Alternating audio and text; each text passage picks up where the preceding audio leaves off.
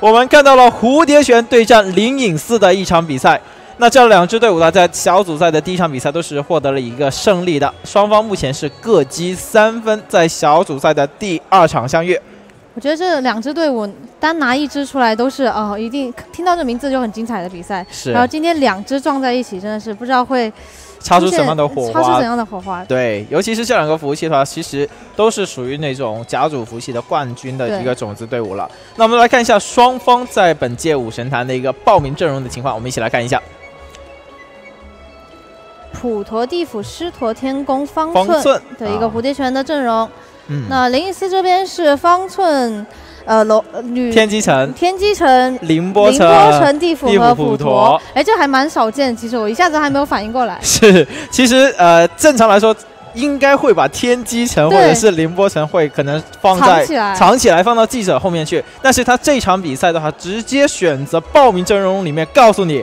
我就带了天机城，还有凌波城，那你怎么来选择呃应对我呢？但是我觉得有个重点啊，就是双方在一个携带的战神数量上面是有一个比较大的一个差距的。蝴蝶轩有一个一千二百万的战神，而灵隐斯是没有带战神的话，那灵隐斯这场比赛，呃，可能会在属性上面的话稍微会劣势，对，稍微稍微有一点点的一个劣势，但我觉得。呃，双方的主指挥大家都十分的熟悉了，我觉得这一点小小的一个属性上的劣势不会太影响整场比赛啊。那如果说不影响是不可能的，但是双方的指挥都非常的厉害，这一点点的属性的话其实还好。那双方的话，第一场的比赛一个开了云阵，一个开了个鸟阵，如果沿用这个阵容阵法的话，其实是会出现一个大克的一个情况。哎，王子，我就是很，就是我很想问你啊，就是如果是你在去。搭配这个队伍的时候，你会更在意这个阵法对本身自己队员的影响，还是会更介意对面的一个克制关系？呃，其其实对我自己来说的话，我可能就是我要上什么样一套阵容，我就开什么阵法去打。你的阵容跟阵法你自己来决定就好了，因为我觉得，因为我这样的一个搭配会让我的队伍打起来会更顺一点，达到一个最大化的对最大化的一个情况，而不至于说我要想你的阵法来开我自己的阵法，像好像有点。勉难了，勉勉勉强了自己的感觉。而且我记得之前就是好像有过，我为了要想去大课，结果被反套 反被大课。其实这个就跟下棋一样，别人比你多走一步，可能就会反大课你了。好的，那刚刚我们也是看完了这个蝴蝶泉跟灵隐寺的一个报名阵容的一个情况。那双方这支队伍，你这两支队伍，你知道会不会有一些什么大课的情况？因为今天早上我们看了两场比赛，都出现了大课。我觉得如果早上被大课的话，下午哎。已经切进来了啊！已经切进来了，我们还还还龙阵打鸟阵。啊，小克小克，其实这个就跟你刚刚问我的差不多，就是你会选择上什么样的一个阵容阵法跟对面打？其实现在我们可以看到啊，双方都是按照自己的阵容去开的一套阵法来打。像关良方这边，关良方这边他就觉得我这套阵容的话，我只需要抢一个一速就 OK 了。而对战方的话不一样。对，对战方的话，你看到他们。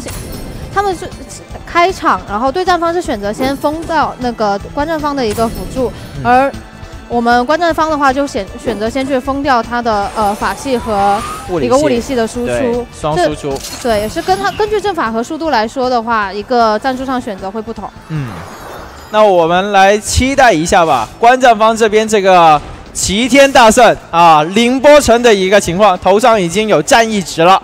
那所以说的话，我们可以来看一下，到底凌波城在武神坛的甲组会发挥什么样的一情况？已经好久没见到了。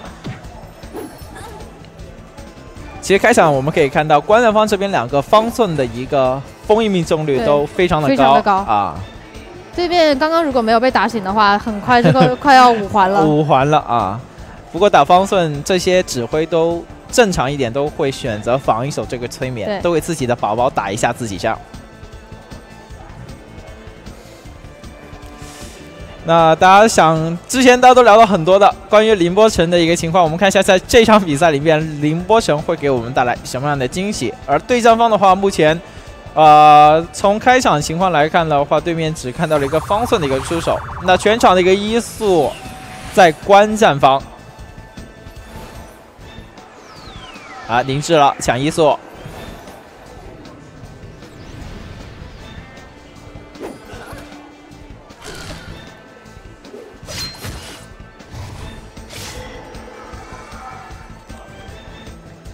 对方物理系师徒，那第三回合的一个变身，嗯，先是招了一个幻魔出来，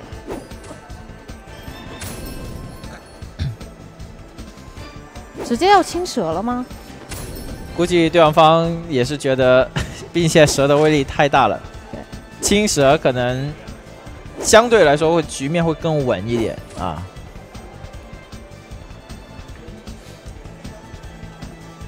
但其实我觉得清这个蛇啊，每次看到各种比赛的时候，清这个蛇最心态爆炸的一件事情是 动了全全队伍之力去清它，结果绿了啊，一个绿了啊，绿了的话，其实无论是什么样的阵容，都会很亏，很伤，很伤啊。那我们刚刚也是看到了凌波城市使用了一个猎石清对上方一号位的宝宝。我这边，我跟大家说。我这些小细节的地方啊，保一下。观战方这边的方寸在被现呃凝滞之后还有一速，所以这个方算非常的脆。如果对面待会儿要点杀这个方寸，必死无疑啊！先 先把这个 flag 先立起来了啊！对面一个加了野兽的一个狮驼，再加上一个呃法系，嗯，点的话应该会，这应该是个女吧？是个女吧？对。点的话，应该是一个必死的状态。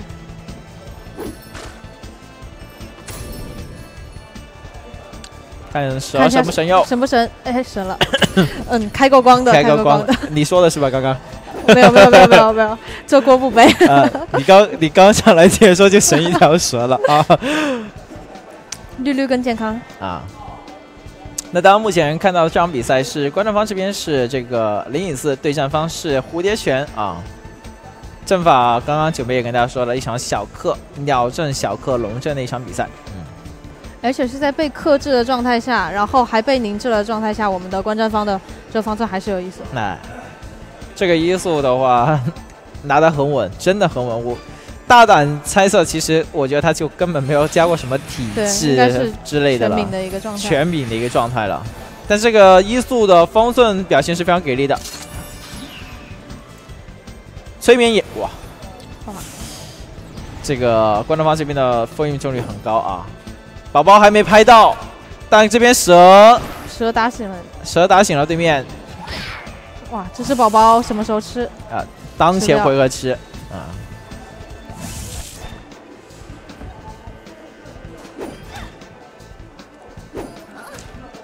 觉得小怨灵还是非常可爱的。啊。但是小月灵拉出来之后，基本上会被对面给清掉。啊，对面还在打蛇，四千三的一个伤害。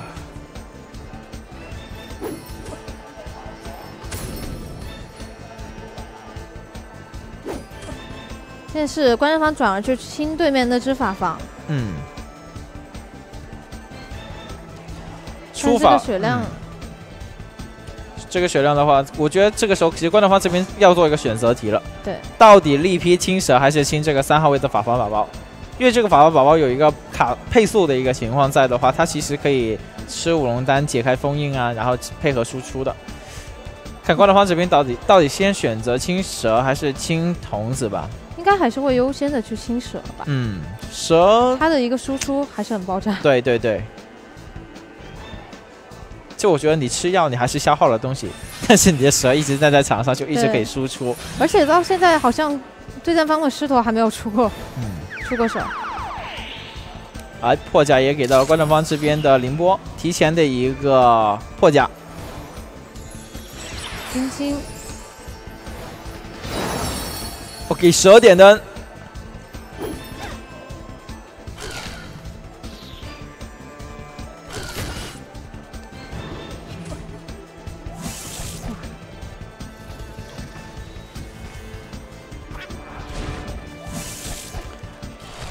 好了，观众方这边女拔先开始的一个取秒啊！观众方一号位的这个宝宝伤害非常的高，打到凌波的身上都是一个一千左右的一个伤害。双力劈青蛇，看一下这个灯能不能起到效果？不行，心在滴血。对。因为因为什么呢？就就是你你给这个蛇卡了一个点了一个血灯，但是蛇被清掉，对相当于你普陀这个回合是直接罚站了一个回，合的情况。没有做到什么有效的事情。对，我觉得这个灯改成是一个波兰可能会更好一点，但是他直接给了一个灯，只能说有点贪了啊。现在对方对战方这条蛇的血量也是比较惨，啊，那下回合看是继续清这个蛇呢，还是还是贪一点一波 A O E 的群秒？这边自动凝神，这样的话可以增加一下方寸的一个封印命中率。啊，光辉先补回来，刚刚被破甲过这个凌波成。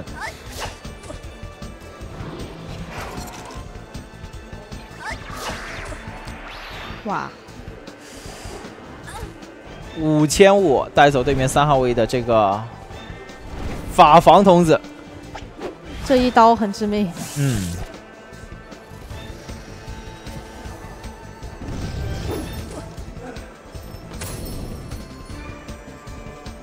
哎，这回合没有去清他对面对战方的蛇，嗯，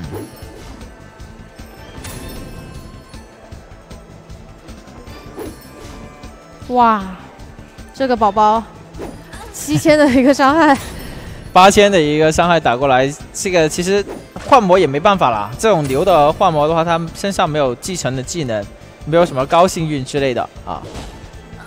那对方的蛇这个回合还幸存下来，主要的原因是观众方这边的凌波城是没有清他的。那看一下这个回合，对方方要不要选择继续保蛇？但对面狮驼岭也有可能也会连环击清蛇，失魂要点了。啊、但是对面有一把金青，但他失魂的话，应该是想要点。感觉像是要点的，挂了失魂，感觉是要点的。害怕，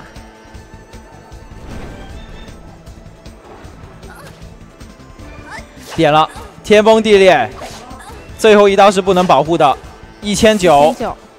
那这个血量的话，其实女拔木群秒没有选择直接一个嗜血之际，哎，这个宝宝宝宝被秒到啊，没有选择去很急火的跟嗯，点人，力劈的宝宝还是先清蛇，他主要是先清蛇。嗯，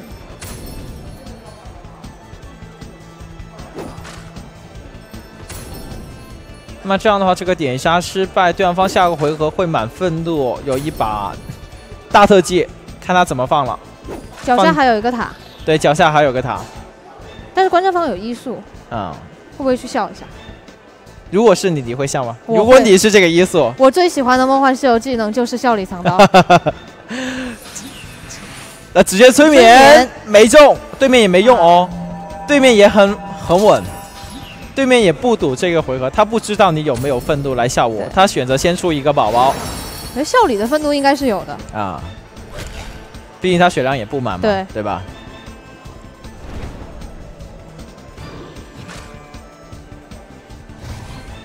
啊，野兽，观战林波城也先来一波野兽，来看一下对面也再次把化魔造出来。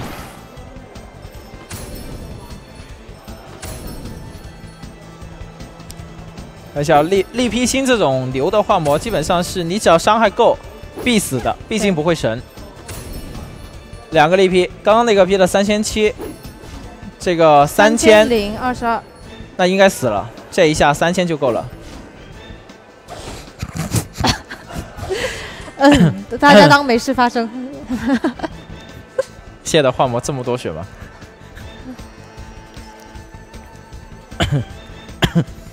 就肯定是残血，虽然我们现在看不到他剩余多少血量，但是他的一个血量是肯定是残血了啊！然后幻魔说没关系，我还能输出，让我输出一下再死。啊，看这回合观战怎么选。波兰方啊还是两个回合的催眠不中了，无魂，再中，那我估计对战方这个回合应该是连环击青蛇了。咱们来看一下。好，先师伯亲宝宝。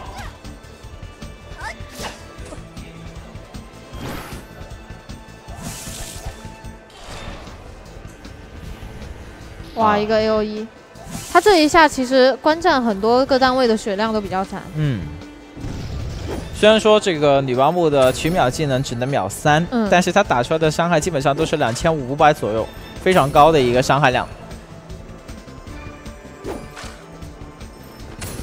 看一下光头方这边要不要两个力劈劈蛇，一个力劈清对面的五号的那个幻魔吧？那个幻魔留在场上不好啊，反正他已经残血了。就是这种血量还没有很多，但是伤害很高的东西留在场上的时候，会让人觉得我心不安啊。对，因为呃这么多届的武神坛了，大家都对于女王木这个蛇摇出一个大奖，或者说他打出来的一个伤害量，其实是真的无法预知的。他可能连续三四个回合打你个一两千两三千，他突然咬你一口八千，其实这个是很难受的，因为。比赛随着进进行当中的话，大家的血量都不会是全满的，基本上都是在一个四分之三左右的一个血量上限。那如果说被蛇突然咬了个八千，像输出呃大呃凌波神或者是狮驼岭的话，突然被咬一口，其实很亏。哇，这个蛇直接咬死对面的幻魔，这是预料之中啊。连环金星蛇，来看一下这个狮驼岭，最后一下。死了，没闪。所以我觉得连环其实还是很稳的。嗯，连环金星蛇很稳是吧？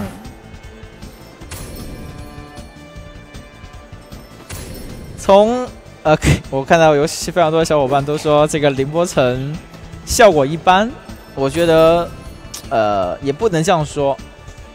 现在比赛才刚刚开打了十一个回合啊，可以看一下他后续的一些情况。哎，蛇神又嗯。在那个位置比较容易神，是不是这种玄学？玄学的一个情况啊。站在自己的主人身边，嗯，会有一个捧在手心，对 buff 的一个加成。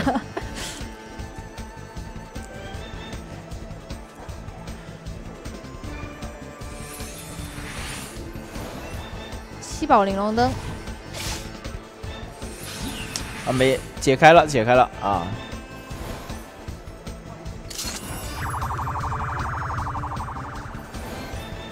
黄泉之息是要抓一下速度了，对，开始要抓速度了，因为我们刚刚也是看到了嘛，对面通过凝滞了之后的话，还没有办法抢到场上的一个一速。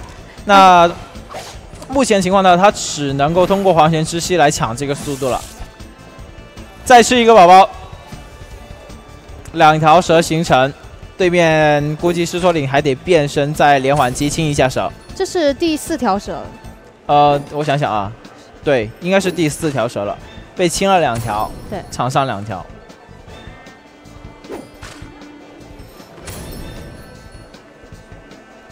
地批再清一下蛇，两千。哎，这回合来看一下双方的一个速度的情况了。黄泉之息之后，嗯，要是还要快的话，还是还是关东方这边快的话，那估计 对面地府要要很。很多事情要做了，好的，关东方这边这个一速拿的太稳了。这到底是带的什么？什么灵士对吧？对，什么灵士？呃，这个催眠刚刚风中，直接蛇摇蛇摇醒。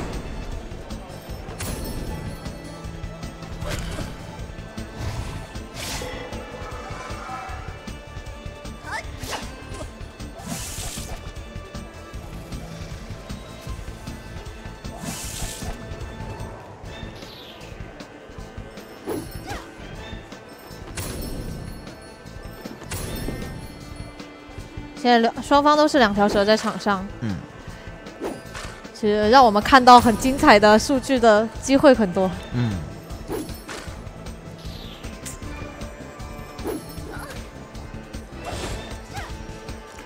就大家可以通过这场比赛可以看到啊，其实从这个保护蛇的这个呃措施上面的话，其实对战方比观众方这边保蛇保的会更好一点。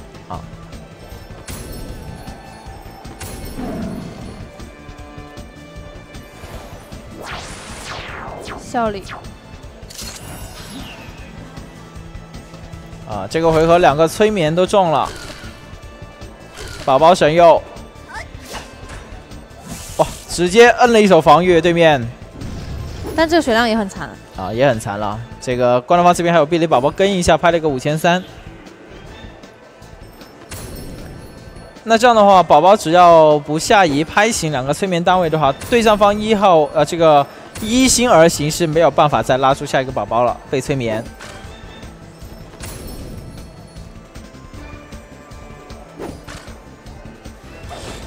呃，哇，这个位置我还以为会拍到那个催眠的单位上。那心态崩了呀。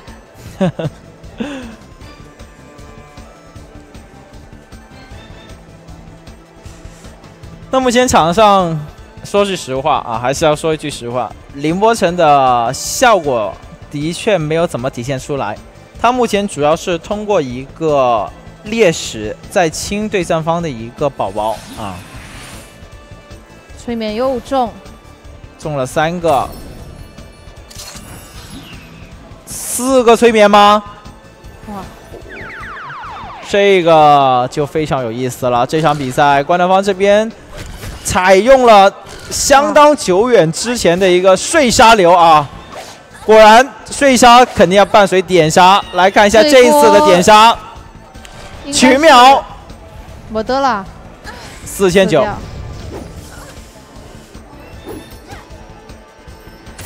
其实这个我真的很好奇，观战方这个方寸带的是什么灵士？啊。你看他速度，速度不管你怎么抓还是第一，啊。命中率也很高。是，这种就是我我觉得啊，他有这么快的速度，他前面应该是六速度的了。嗯，然后风刃命中率这么高，我只能说他真的，在装备上的问题吗？呃，装备上可能也有加成，运气也很好，我觉得。也是。这因为个因为给我的感觉啊，关南方这边这两个方寸，无论是一速方寸还是二十方寸，它的一个风翼命中率都差不多。卡速方寸肯定是带风翼命中率的一个零式的，但是它的一速的方寸封印命中率跟他差不多，我觉得这个真的是挺恐怖的。尤其是像现在，你看他这个回合会把另外一个再催眠，但是虽然说催眠不中啊，但是他肯定会这么打。卡速方寸分身，普陀点灯，吕拔木应该会选择召唤一下怨灵。对面已经开始吃五龙丹解开了，没办法，想再用猎食清一下宝宝哦，先叠罗汉先，叠一个罗汉出来。嗯其实他在这种现在的一个普遍的一个点杀流的情况下来说，其实双方的愤怒并不是很好，嗯并不是说很特别好的，会长得很快。嗯，基本上双方都是要通过一个踩塔来恢复自己的一个愤怒，尤其是像现在场面的话，关南方这边更重要的一点就是。输出都被你控了，我这边的一个愤怒来源就仅仅靠自己的一些踩塔，或者是你的宝宝下滑打到我身上来稍微恢复一下而且他一直在被催眠的话，踩塔的机会也不多。啊、对面的话就基本上没有什么机会会可以选择踩塔了，除非关了方这边封印命中封印不中的情况下，你当前回合踩了一个塔。而且也要看他对面带了多少舞龙了。嗯。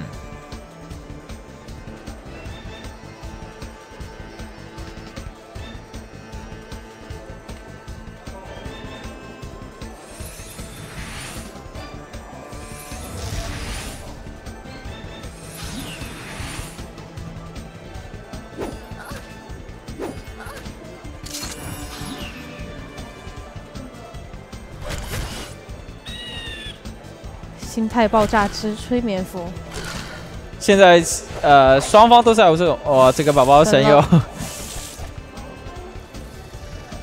现在双方都在用这种催眠的一个打法。其实我自己打打 PK 的时候，我最嗯讨厌的就是风系。就就就是说被封住又不长愤怒，我明明啊被封住的时候很生气啊。啊，就其实风风系主要还是作为控场的作用嘛，对对吧？它这种配设置的话也是非常合理的。但是现在场面上的话，呃，这个对面的怨灵打醒了关南方这边催眠的单位，关南方这边是没有怨灵，不会让你有这种呃意外打醒的一个机会的。那看一下关南方这一个回合，呃，对方应该会点这条蛇了。看一下，我想一想啊，对面关南方这边应该会先选择再清一下宝宝，对面宝宝配置太好了，先清一下宝宝，不会随意的进行一个点杀。两个人物单位被控，两个辅助无法出手。蔡不清宝宝要满屏了，嗯，但是观战方这条蛇要看这回合怎么保一下，很很危险的一个血量，对，在原际的边缘疯狂试探。试探，尤其是对方方现在只能通过一个配速的宝宝给这个蛇吃个大金才行。分身。啊，对面选择控观众方这边的普陀，对面有一把金青，这一把金星就非常漂亮了。狮驼里应该会选择师伯清一下宝宝了吧？哇，这个蛇咬蛇清掉，蛇拍果然师伯清宝宝八千一的一个伤害。再跟一下三千三，嗯，这边也金汤怒清一下宝宝，两千，五千四，罗汉，这回合放出两个大特技，对。对方这个回合放出两个大特色技之后，基本上就把整个局面给稳下来了。一个金青接一个罗汉，接下来看观众方这边双方寸的封印命中率了。但是他现在其实这个对对战方场上这个宝宝真的是头皮发麻。毕竟场面比观众方这边的要豪华一点。对啊，看起来。不过那个三号位的童子是不是考虑可以？清一下，这个要看双这个观众方这边的一个指挥对于血量的一个预估情况了。如果他记住他的血量的话，他肯定会有一个壁垒宝宝什么跟一下，然后再用另外的凌波城再清一下对面的二号宝宝，这样可以一个回合清两只宝宝。但同时我觉得还得防一手点杀啊！对战方失魂给到观众方这边的师徒哦，这个凌波。金青非常漂亮，但是有一个小爽。哇！我就说了，这个时候肯肯定要防一手点杀的。对面这么豪华的情况下，他不点你，他干嘛呢？蛇还咬了一口四千六，必死无疑。这回合拉灵动，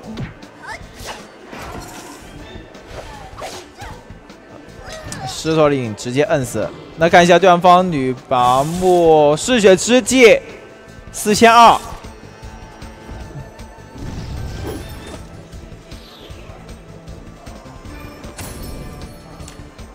啊！有玩家说灵隐寺的运气太差了。呃，我我其实也有这种感觉啊。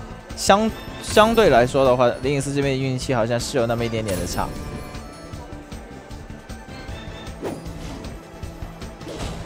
啊！有玩家说，又有玩家说这运气还差。我跟大家说一下，为什么会觉得他的运气会有那么一点点的一个差啊？就是我，大家可能会说，啊，这个关大方这边刚刚蛇也神又过了两次，但是大家要记住一个重点，就是对战方是一个狮驼岭，狮驼岭通过两次连环击是让蛇神用了两次，但关大方这边不一样，关大方这边是通过三两到三只地皮宝宝打神了对面的一个蛇。大家想想，从数从这个出手的情况来看。观众方这边用了三个出手机会换对面蛇一次神佑，但对面不一样，对面是一个出手单位换一条蛇的神佑。赶紧再拉一条蛇出来，嗯，因为幻魔的血量也是有点危险。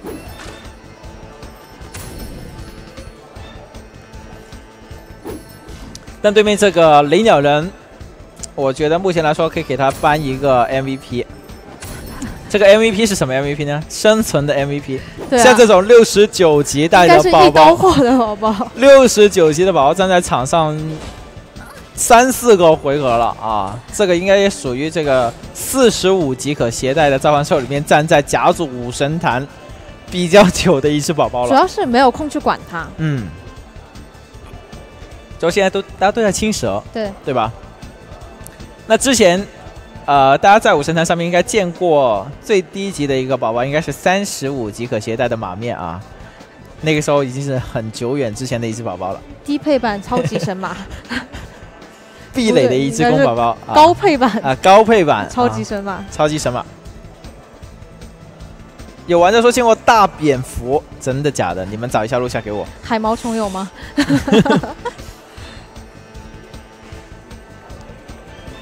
海毛虫其实可以了解一下啊，马面对马面我是见过的，像树怪那些我还真的没见过啊。那我们再来看一下这个回合吧，落魄控制对面的青青，没办法，再落魄，连点，对方方点杀的是观众方这边卡速的方寸，小爽没挂中，龙龟，这个鸟的速度很快，这应该是观众方第一次出的第一只法防宝宝，嗯，哇，但这个点杀有点招架不住，虽然小死亡没中，但是这波应该是没了呀。嗯，其实小死亡挂中的话，他就已经，他就已经哦，神佑神了，佑，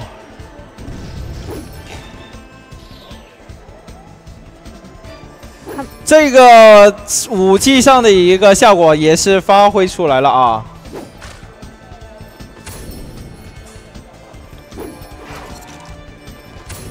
这是一波弹幕助威，弹幕助威，说呃说呃 说运气太差了，说运气太差了，但是他马上来一个了，来了一个运气，不聊运气了，好吧？运气也只是实力的一部分啊，这口血卡的很关键。卡了这个催眠控宝宝。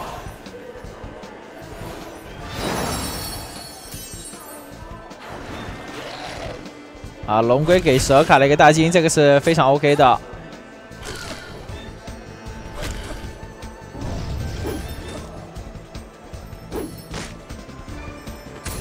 贝雷拍雷鸟人一千八，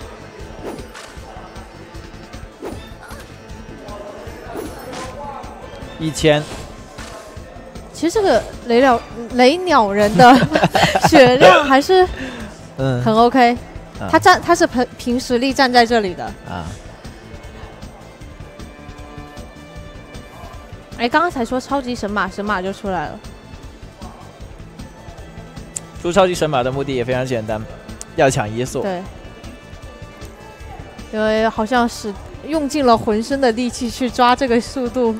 但一直没有抓回来。对啊，这个也是对战方其实现在挺郁闷的一个东西的，因为你想嘛，无论是你是在平常打 PK，还是说你刷任务，你开鸟阵的目的就是要比对面快。对，但是你现在灵智试过了，你黄泉之息也抓过了，还是没有医速，那你现在只能通过拉个神马，但神马只能带给你的是几个回合的一个医速，后面的话你要医速还是得通过地府的黄泉之息来抓才能拿到。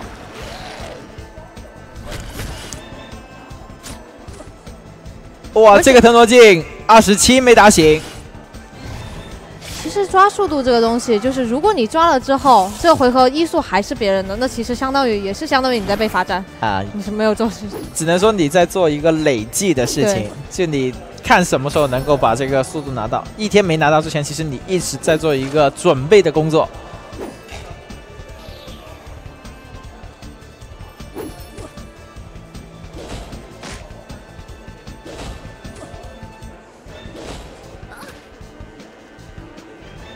我们可以来看一下灵隐寺的凌波城，现在还有两回合的一个小死亡，这个回合是给拉起来的。咱们来看一下，看一下观众方这边的方寸会不会控对方的方寸，然后普陀来拉起凌波城。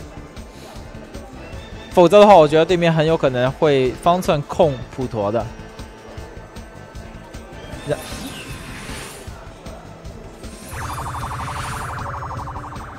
然啊、没控住，没有速度被抢了，对，速度也被抢了，而且这个回合对方也挂了一个无魂给观众方这边的普陀，看一下这个无魂，没中无魂。嗯，拉起，拉起起个纸人，嗯起起个纸人先吧。这个六千八的大金是三幺的效果啊，备御的一个效果。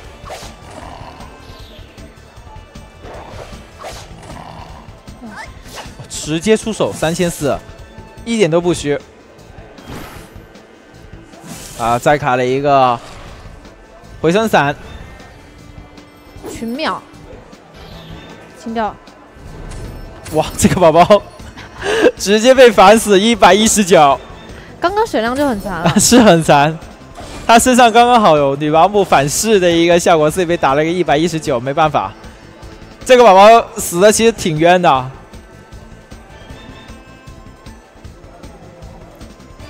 换了换了，同归于尽是吗？对。可能对面有点小赚，但是我们绝对不亏。嗯。一换一 不亏，强行不亏，你们就是。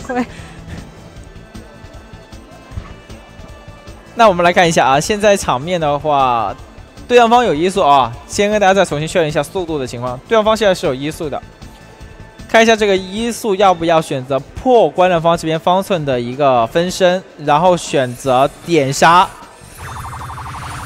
对面方寸没动是不是？啊，不是，没移速了。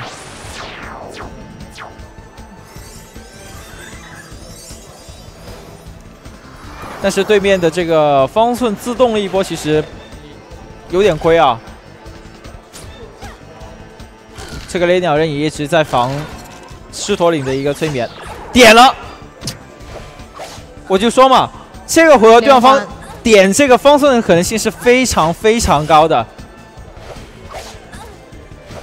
死了死了死了！嗜血之际。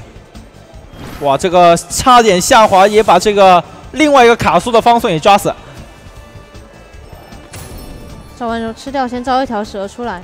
啊。其实这回合你说是不是应该保一下这个方寸，会比拉灵动要好一点？呃，我想想啊。但也保不住。但也保不住。其实它主要这个灵动拉起来还是给到一速，效果会更好一点。因为毕竟一速，你无论怎么取秒啊之类的，都会打到他的一个身上，得通过这样的一些方式给他做防御性的一个措施。对方起鬼眼抗风，一速倒地其实很难的，很难很难拉。哎我的天哪，今天是怎么了？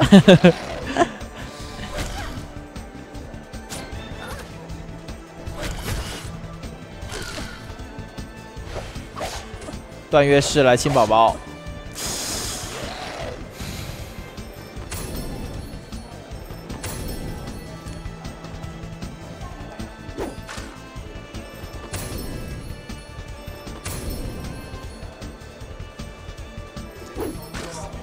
其实通过这个回合，呃，我们可以看到双方的蛇打出来的一个伤害都非常的恐怖，五千五千的在拍，还好是打在宝宝的一个身上吧。如果说打到人的身上，这种伤害其实是毁灭性的一个打击来的。你五千血，你下个回合，观众方这边有两只配速的龙龟可以卡大金，对战方也有两个配速神马加那个雷鸟人也是配速，可以也可以卡大金的。那来看一下这个回合吧。观战方这边这个回合要防一手点杀，对方三个人物单位踩塔。狮驼岭身上有变身，我们来看一下观战方这边这个回合怎么来防一手点杀。这个雷雷鸟人今天应该是 MVP 了，嗯，站了很久。雷鸟人是站站在场上挺久的啊，十十个十多个回合应该有。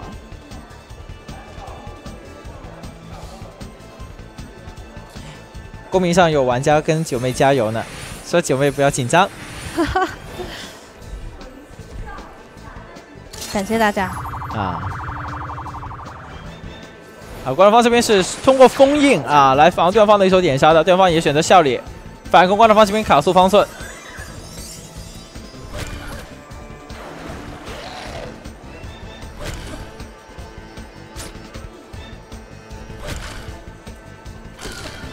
六千五千，对面是 又金青，狮驼岭的一把金青，再来段月是。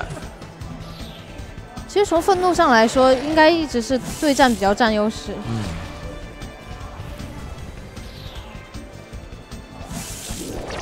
罗汉，这把罗汉接起来之后，其实就非常稳了，而且关乐方这边还不错，带了这种小四海。小四海刚刚吃了之后的话，八个单位受益，非常赚。啊，这个雷鸟人被清掉，那这样对方场上只剩下了，看一下啊，一个力应该是两个力劈加一个配速的神马。这条蛇，哎，稳住了，稳住了这条蛇，头上还有一个普陀的血灯。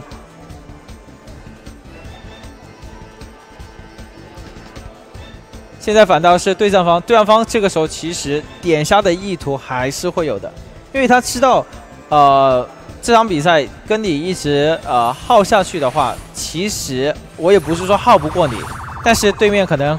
应该说，两队肯定都希望自己可以在第二场比赛也可以拿下三分，肯定是希望在九十分钟之内结束这场战斗。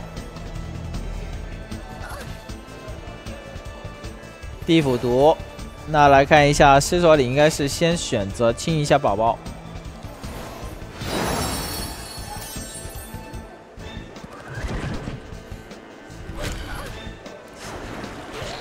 金甲四千五咬了一口。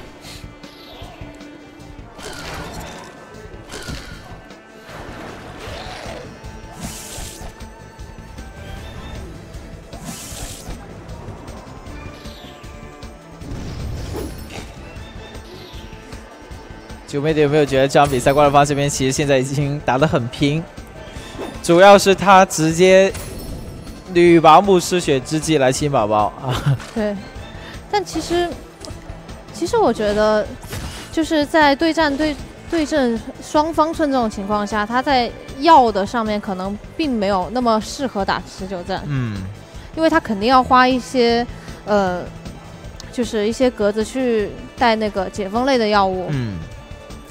其实，呃，你这个说法其实也是挺对的，因为你在这场比赛里面，你可能我觉得正常打 PK 啊，带的五龙丹就大概四到四个，我觉得已经差不多了，四到五个，五个也不会全都是五个的，那代表着你碰到这种双风系的阵容里面，你的五龙丹会消耗的很快。对，如果尤其是关东方这边还有一速的话，他在整场比赛对你的一个晶晶的控制会非常的一个好。这样的话，你的五龙丹消耗就会特别的快，打持久战没有办法打。那我们先来看一下，狮驼岭青蛇是成功清掉。来看一下，关南方这边青蛇没有清掉，这个力劈还有力劈。关南方这边龙龟来保，这血量应该还算很稳健的，还稳健的。再卡了一个大金，两千七百八十九，药性。两千七、两千三，怪龙方这边现在对于这个蛇的照顾非常的好，因为这应该也算是比较后面的蛇了。对，呃，有没有玩家数过？这个我刚刚还真的忘记数了。这个关龙方这边第几条蛇了？至少应该是第六条。第六条了吗？应该是吧。这个就很……我们上一次数的时候是已经四条。对，四条。之前数的时候是四条。我看一下公屏玩家怎么说。第六条。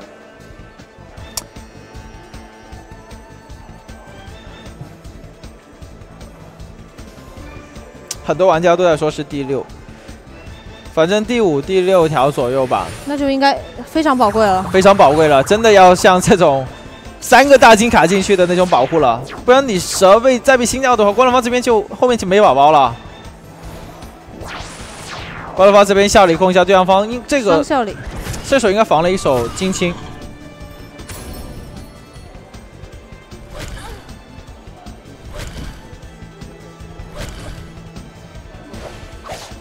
在猎食四千七，哎，关东方这边开始造牛了。这一种这一种时候造牛是真的在保存自己的宝宝的一个情况了。再随便召唤蛇的话，其实还真的不靠谱。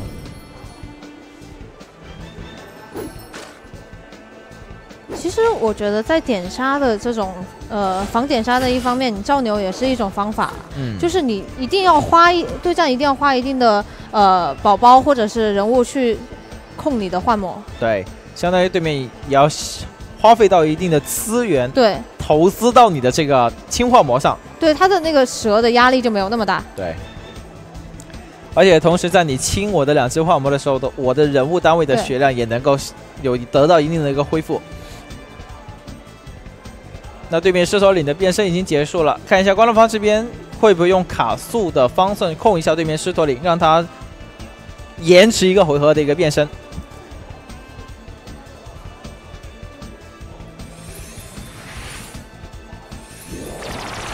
啊，观众方罗汉，对方方罗汉，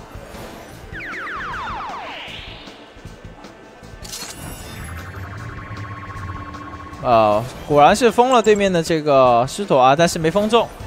那狮驼领变身可以出来了。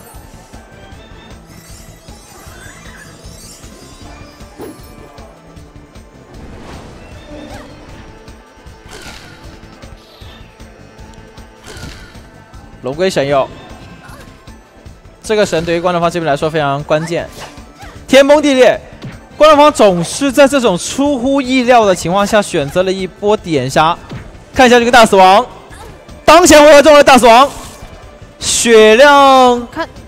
还有五分之一吧，群秒一千六没有倒地，这个有避雷，应该有点很残血了已经。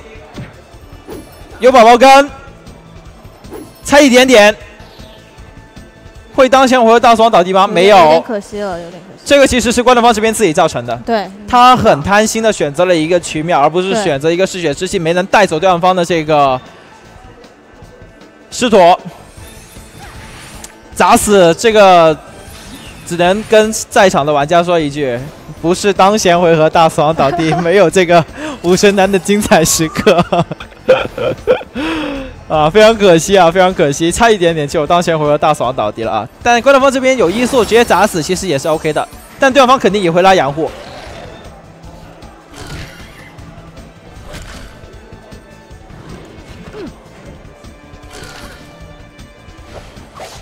其实按现在这个局面来说的话，嗯其实刚刚他群秒也 OK，嗯，因为这个血量肯定会被控到一个很残的位置，我们有医速。啊然后他如果失血的话，可能需要说呃踩轮啊什么。对踩轮子之类的。呃，有玩家说他刚刚的一个血量不够啊，就是，呃，这个是这个的确是我刚刚没有留意到的一个地方。正好被血灯挡住，不太看得清。对，其呃，这个是其中之一了，但还有另外一个就是，我觉得你要完成这样的一个点杀的话，呃，你可以选择嗜血之气的情况下还是嗜血之气，而且你场上有两只龙龟，其中一只龙龟用来吃个大金，大金另外一个拍大死亡其实也 OK 的。但这个看指挥当时候是怎么想了啊？这个的确，我刚刚是也没有留意到这个女娲墓的一个血量啊。嗯但观众方这边现在可以说是通过通过这个大死亡啊，形成了一定的一个优势吧。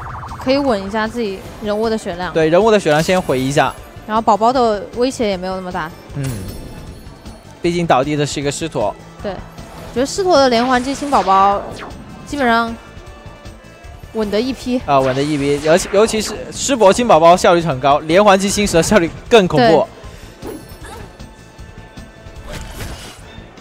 对方这手罗汉的话也稍微可以稳住。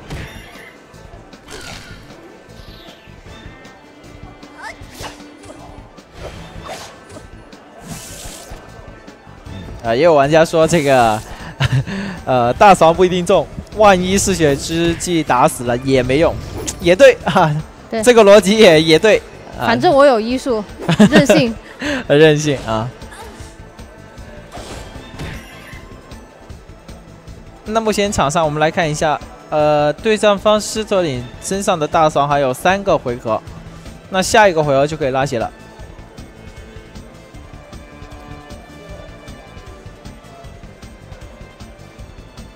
比赛目前进行了三十四个回合啊，进行了三十四个回合。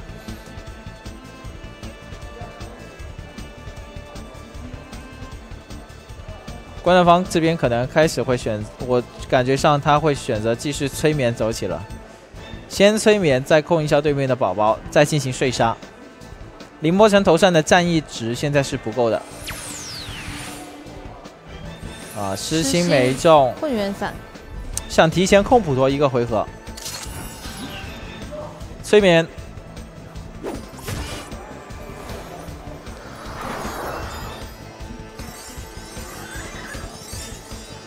给宝宝卡他。这小色海吗？对，吃一个小哎，蛇拍醒了催眠的单位，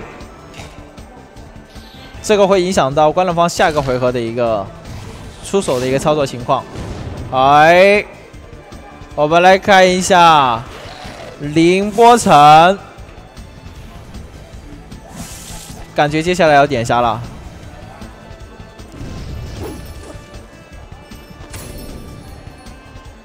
嗯，哇，这个小四海还触发了这个背玉的效果，全体为了一千二百血。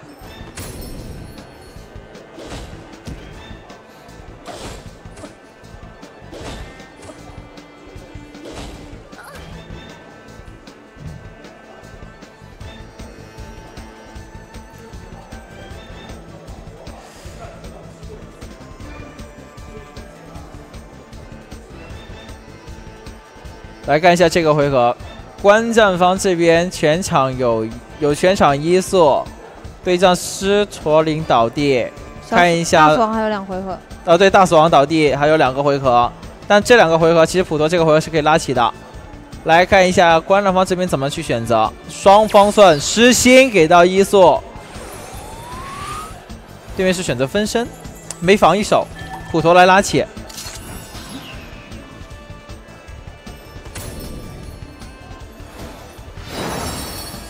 对面你这样拉起的话，我想想能不能站住啊？这个狮驼岭啊，有卡大金。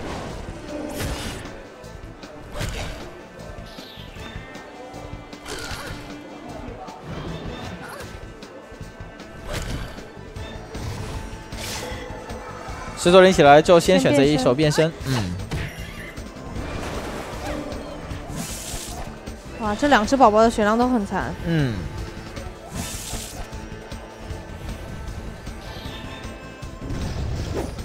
哇，两只宝宝同时被清掉，那这样的话，凌波城在 九妹你觉得凌波城在下一个回合，应该说观战方下一个回合会不会选择点杀？在对战方宝宝只剩下两只的情况下，我觉得会去点吧，因为你现在狮驼岭是一个刚变完身的状态，应该不会出宝宝，不会马上出。然后你现在宝宝只有两只，那我不点你。更待何时？是，其实还有另外一个点，就是如果你说说你这个回合要选择出宝宝的话，那代表着你是不会出来什么连环击摁死我的一个人物单位的。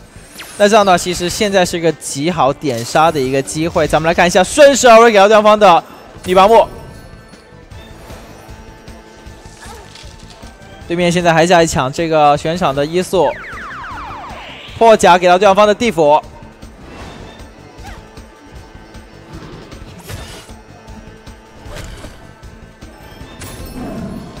狮驼岭先选择出宝宝，天崩地裂点地府。啊！这一刀暴击！哇，这个大死亡！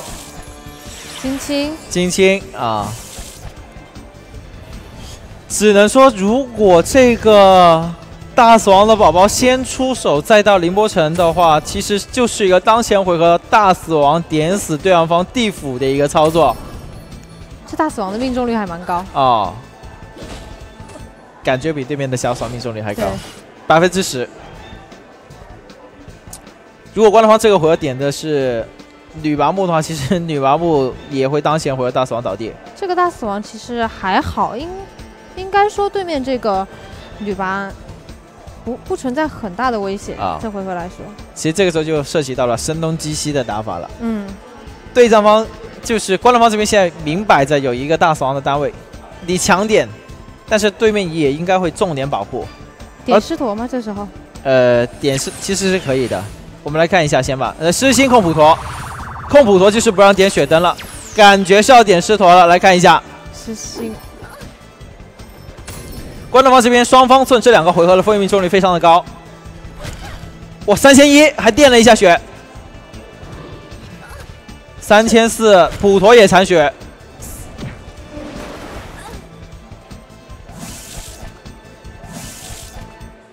啊，群秒。其实这个群秒很危险啊！普陀倒地。普陀倒地。对战方普陀地府比两个输出还要早倒地。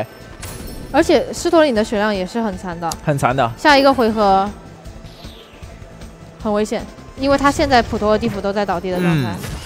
他相当于对方方场上只能通过这些配速宝宝对来给他们卡大金，否则的话，观众方这边接下来的一波输出，对方方会可能会有再有人员伤亡倒地啊。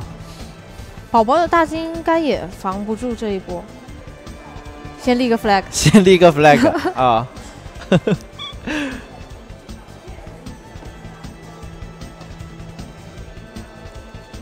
观众方这边现在打出这个局面，主要是靠，首先是那个大死亡点死对面狮驼岭之后，观众方这边的血量以及宝宝得到了一定的生存。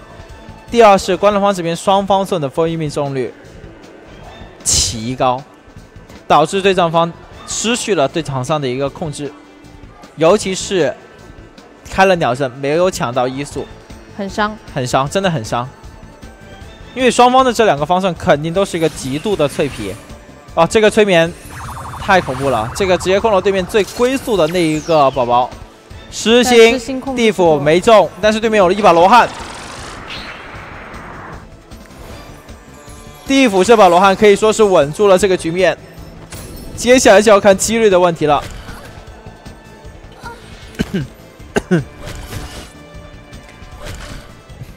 几率的问题啊。连环，啊，蛇没有神佑，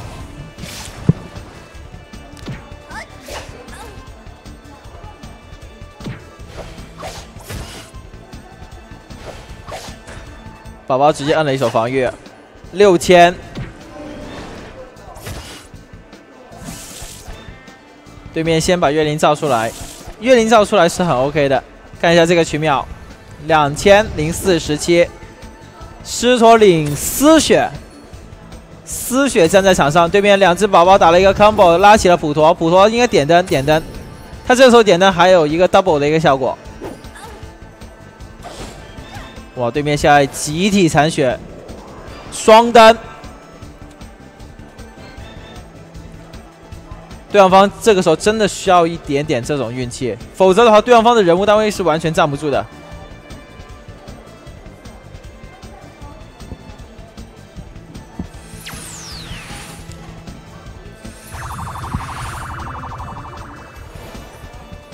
普陀机器人，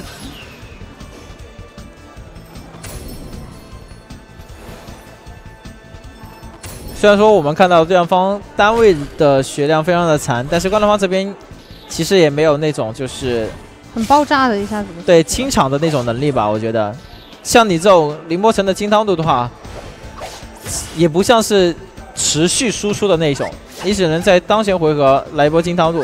看一下这个宝宝也没神。对面的一个群秒六千七，哇，这个女保姆真的是要么不爆，爆起来的话，真的是会让观众方这边也会捏一把汗。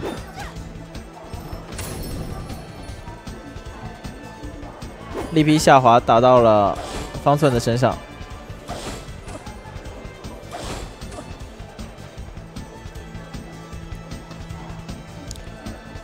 目前场上的这个局面的话，其实双方还是可以打的。其实地府这个血量还是很危险的。嗯，地府的血量是很危险，但是场上的局面，观众方这边主要是没有什么，就幻谋都已经被清掉了嘛，对吧？像我们之前所说的，他大概出了五到六条蛇，接下来他应该会稍微稳一下，不太敢再叫蛇了。对他再叫蛇，其实挺亏的。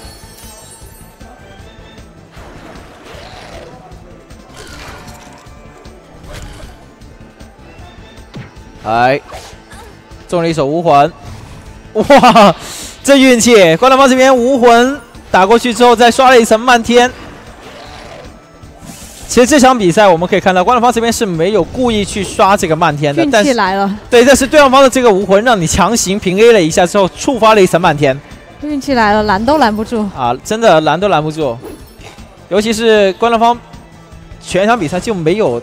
刷漫天的意愿，因为大家应该看了很多很久了，看了他四十一个回合了，他都没有选择平砍的，他都在选择猎食或者是惊涛怒。但这一下无魂让他再加了百分之五的一个伤害之后，我们来看一下这个林波神的伤害，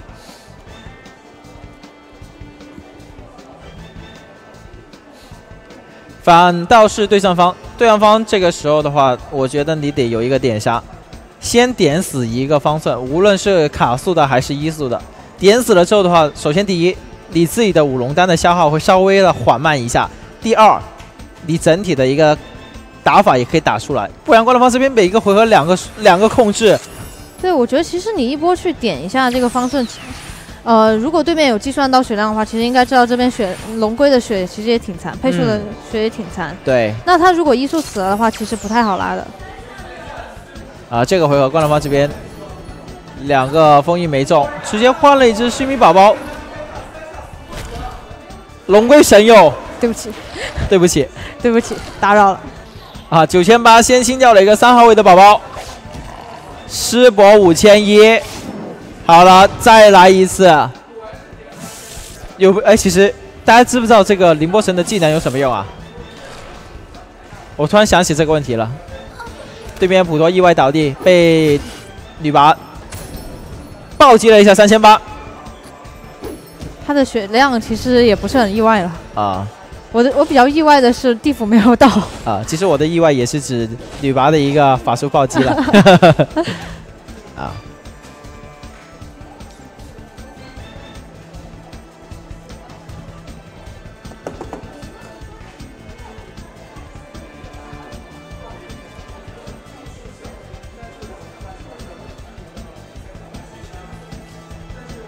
刚刚画面稍微切了一下啊，刚刚画面稍微切了一下啊，没事。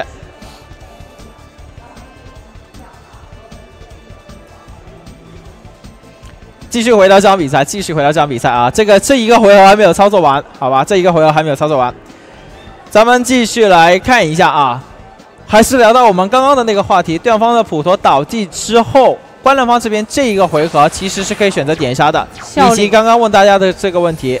凌波城的一个效果，其实这个效力应该是想要控一波金青，但是没有效果。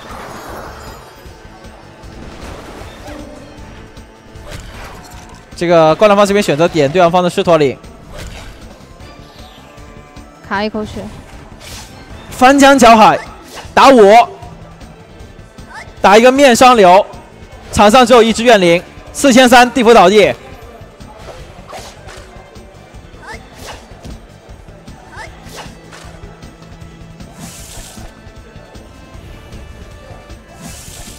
群秒，看一下这个群秒，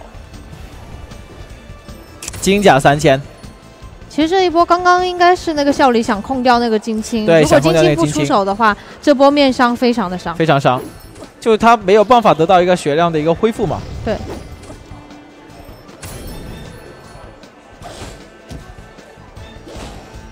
这就是点杀和面伤流看起来的一个区别。对，面伤流看起来非常的暴力。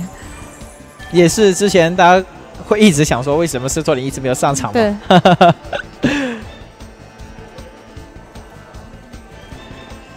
观战方这边，呃，其实也有玩家说到了，观战方这边其实打到目前为止，他自己的血量也会见底。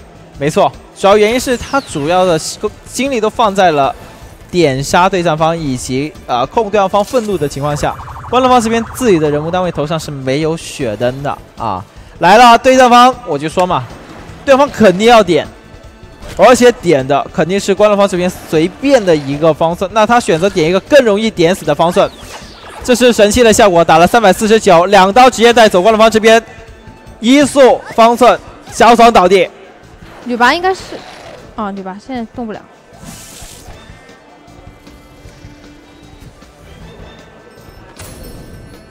如果这回合女女拔再出手的话，观战就很危险了。哎，观战就很危险了。说句实话，官方这边的李莫神直接倒地都有可能。对。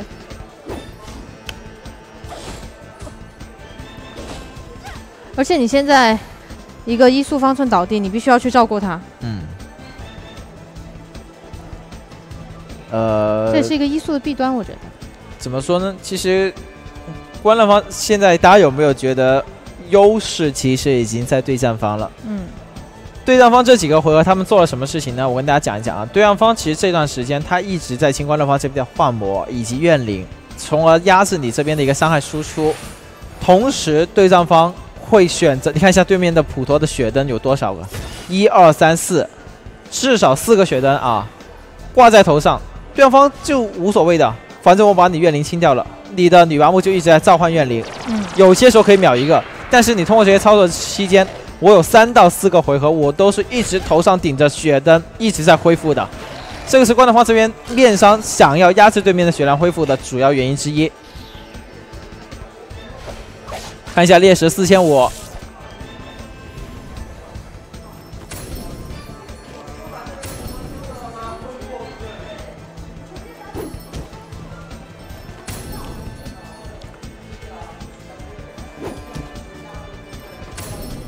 方寸的恢复能力，就是从技能和大特技来说的话，恢复能力本来就会比对战稍微差一点。嗯，而且在这样的一个情况下，你一直在召唤、一直在保护的情况下，可能说从宝宝还有人物的状态来说，比较危险。嗯，现在考验的其实是反倒是观战方这边了。你在失去了一个医速方寸之后的情况下，对方有医速了。那这场比赛相当于观战方这边现在要面临对方的一个打法，怎么来防住，至少让自己的医速可以站起来。首先是你这个方寸，你抗不了风，你没办法分身，那相当于你这个方寸就是挨打的一个局面。第二，你这个凌波城接下来要做的事情就是。在亲宝宝上面的效率啊，尽可能的更高一点。观战方这边应该啊，直接天神怒斩一下对战方一速，然后群秒想要点死吗？金甲哇，这场比赛对战方的金甲弹的非常多次啊！如果对方普陀跟方寸没有弹金甲，应该双倒地。五千五千。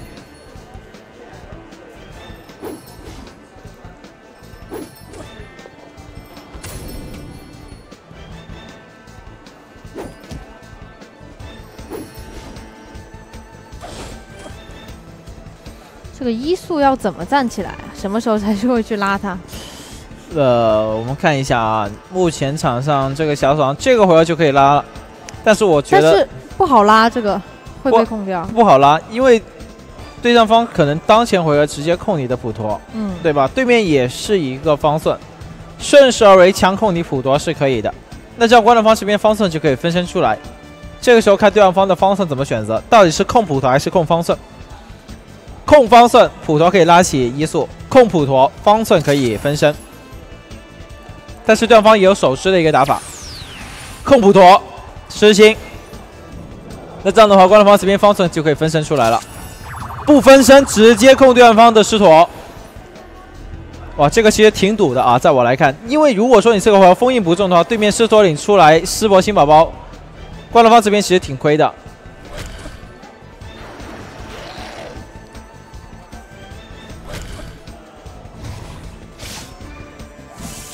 有一手无魂也没中，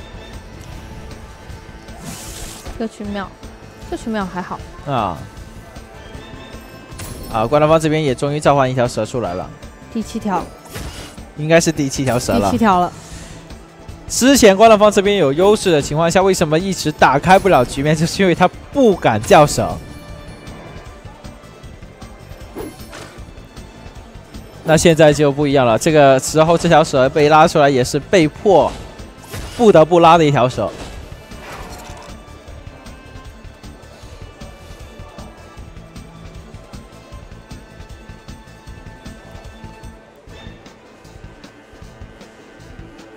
现在观战很需要去打破这个僵局。嗯。就我现在医术没有了。然后普陀会普陀或者方寸会被控，嗯，普陀现在已经被控了嘛？接下来就看这个，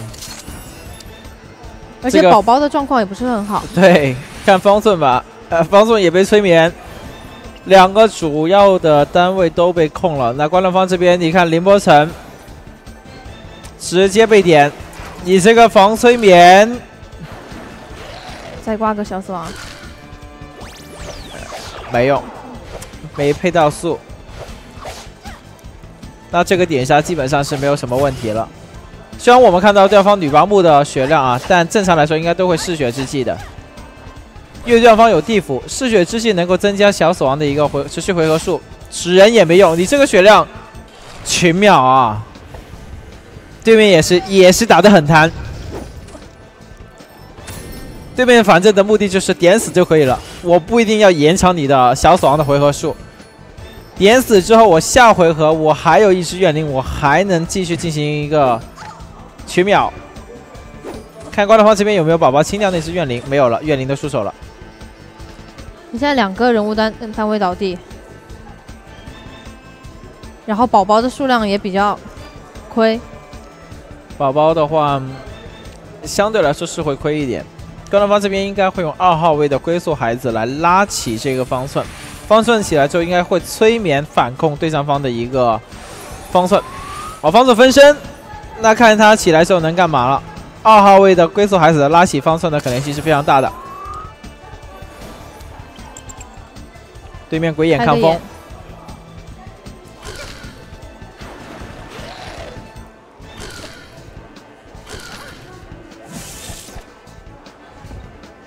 对面再召唤怨灵。哎，龙三的罗汉可以加给了伊素。我们来看一下伊素起来干嘛啊？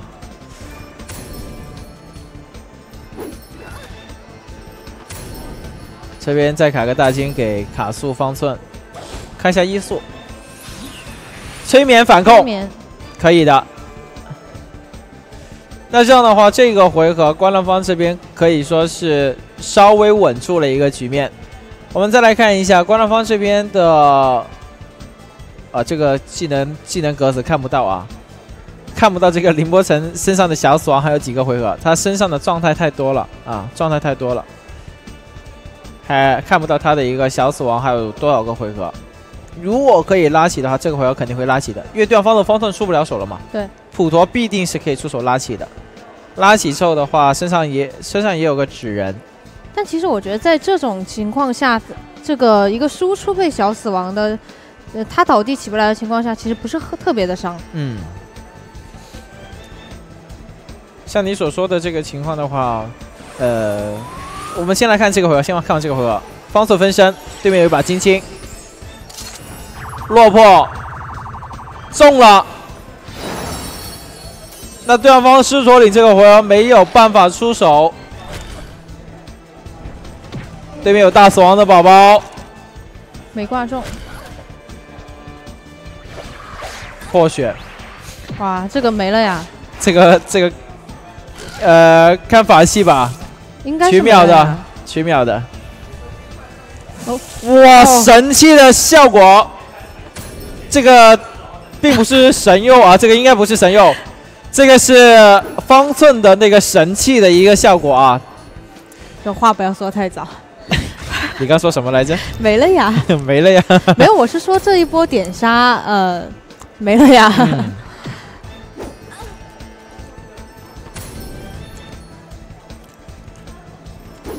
这个是方寸哦，黄金甲的一个效果啊。这条蛇被清掉，真的是心很痛了。那心很痛了。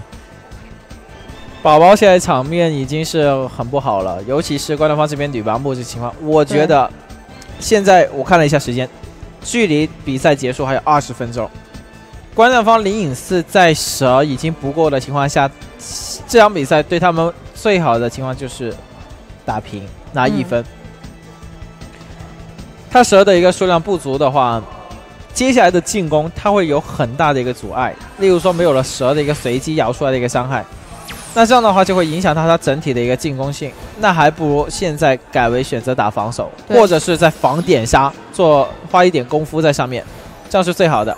也就是我刚刚说到的，就是在现在的情况下，他可能倒地一个输出，对他们来说影响是最小的。最小的，对，不像是开场那种倒地的一个输出，清不了对面的宝宝这种。来段月是反正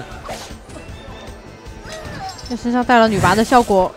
没有，这个是这个其实主要是这个高反震啊，奇效。哎，咱们可以看到官方这边。由于宝宝真的不足，召唤鸟出来了。鸟是幻魔里面造成伤害最低的一个造型啊，大家也可以稍微了解一下。孩子神佑，亲生的。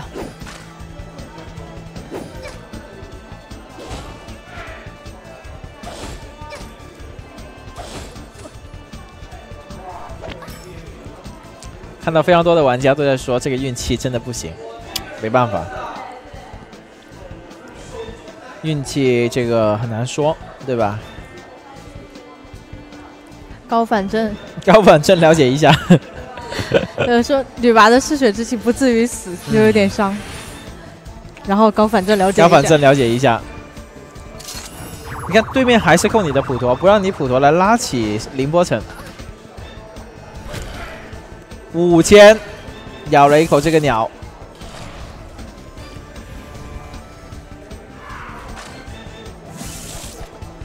嗯，关龙方这边女白还是继续召唤怨灵，看一下力劈，三千七百八十四，啊，那这个已经死了，这个鸟是不会神佑的。七千八。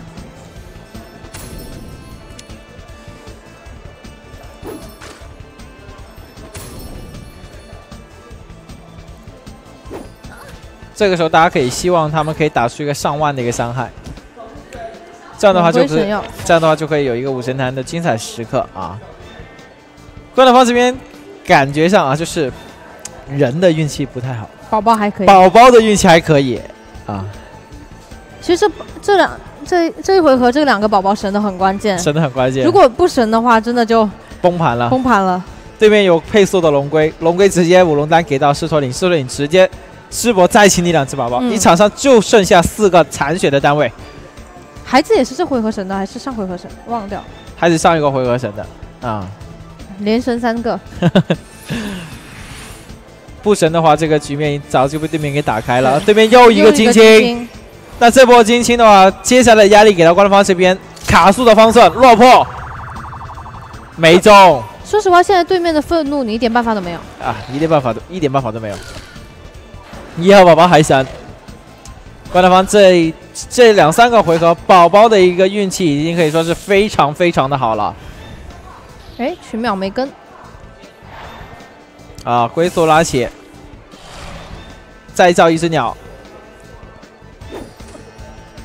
看一下凌波城，凌波城起来之后先起个纸人吧。你没医术的，你没物理医术的。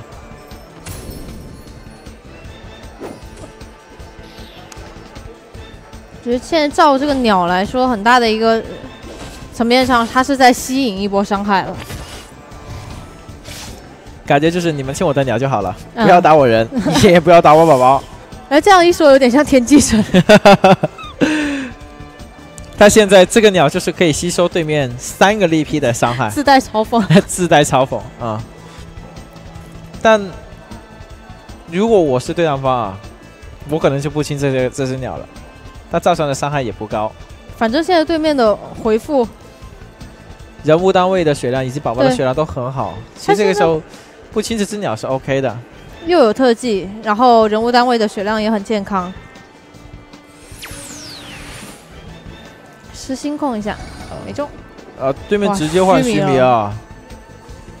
这凌波的血量可能还是站不住。催眠。没中，连续两回合的催眠不中了。那高德方这边残血的医速方寸被挂中了小死亡。来看一下这个回合对方方的一个点杀，破血。的点杀，五千二，嗜血之际的。八千，八千。这一次对战方是真的下定了决心，要让你长倒在地不起。我们来看一下这个一速方寸的小死亡，待会是否会减回合？如果不减的话，观众方将会进入到无尽无穷的一速小死亡魔咒当中。他现在虚弥一出来，其实这个一速更更难受啊！一速更难受，感觉对面这个虚弥拉出来就是再垫一下这个血量。可以保证自己这个回合的一个点杀可以完全成功。那咱们来看一下，啊，小死亡是有减了一个回合的。那对官方这边来说还是一个好事。催眠，笑里再控你一手罗汉，环飞破散，不让你恢复。对面现在打的很针对，四号位宝宝神佑，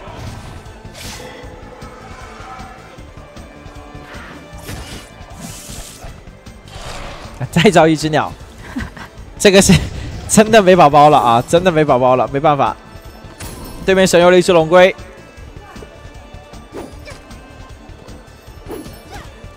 六千二的一个伤害，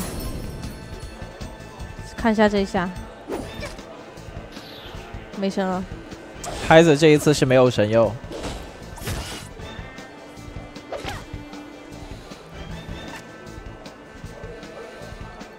看到有一个玩家说开无剑拉须弥，开无剑吗？呃这时候开无剑有点感觉有点早，有有点早。我觉得还要再清两只宝宝左右再开，其实才行。现在如果开的话，可能会有那么一点点的危险，但其实也可以，并不是说不可以啊，只是说这样会在清两只宝宝之后再出的话，可能会更稳一点吧所以这。时候开无剑应该说是对对面没有什么自己的危险，但是可能收益也没有那么高。对，换一个说法嘛，官方方这边龙龟给你拔木卡个大金，看到你开无剑，我直接一个嗜血之气摁死你一个输出，你也挺亏的其实。嗯，但是已经开启了、啊，无间地狱已经走起。狮驼岭应该是一个鹰击吧，应该是鹰击。八千二，哇，又一个五千七，鹰击来了，鹰击了解一下，两千二，三千七，，普陀身上一千八，龙龟三千九。哇，这波鹰击完之后，关乐方这边血量大残群秒，卡速方寸倒地没倒，是是神了还是神佑了，这一次是真的神佑了。这个方寸今天省了两次？武器的神佑效果是真的给力，难怪现在各大服务器都会去收一把神佑的武器。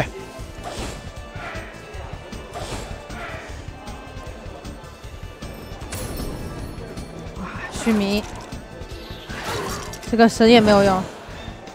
这一次的神佑是没办法了，对面直接换须弥要冲掉你了，双倒地，应该是呃，基本上是翻盘，点没什么。基本上是没了。其实打到目前这个局面，我挺想问一下，看看完了整场比赛的观众的，就你们觉得这场比赛观众方这边问题出在哪里？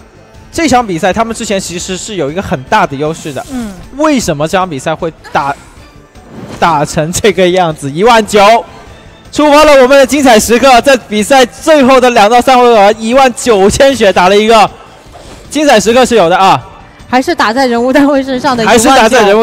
人物单位身上。我我想看一下观众怎么说啊？目前大家说的是凌波城，凌波城伤害不够他在点杀能力上比狮驼岭还是要差一点。啊，每次点杀都在自信。对，啊，凌波城的飞机问题太大。